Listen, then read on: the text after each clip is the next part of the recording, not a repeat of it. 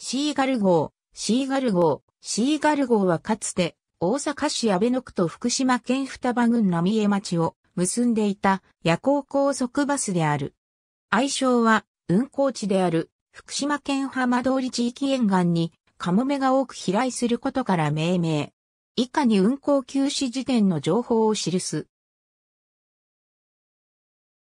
安倍の区阪神高速道路名神高速道路から新名神高速道路東名阪自動車道伊勢湾岸自動車道東名高速道路首都高速道路常磐自動車道国道6号福島県いわき市常磐自動車道福島県双葉郡浪江町2017年7月1日、出発便より安倍の橋南波大阪駅前、名神茨城インター名神、高槻名神、大山崎京都駅八条口日立高萩、磯原駅岩木名こそインター岩木湯本インター、岩木吉島岩木中央インター吉島一章、岩木駅高野インター、常磐富岡インター、大熊町役場双葉町役場浪江駅、シーガル号運行当初の車両。近鉄バスからの譲渡車で現在は廃車。トイレドリンクフットレストレッグレスト。ありがとうございます。